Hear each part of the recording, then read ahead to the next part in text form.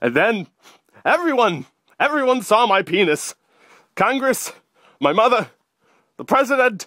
Jerry, Uh, in a minute, Grandma. George was just telling me about his trip to Washington. can I borrow your mattress? But, but, but what's wrong with your mattress? Well, I've been sleeping on it, Jerry. I need a mattress that I'm not using. Ah, fine. What do you need it for anyway? I'm gonna jump off the roof!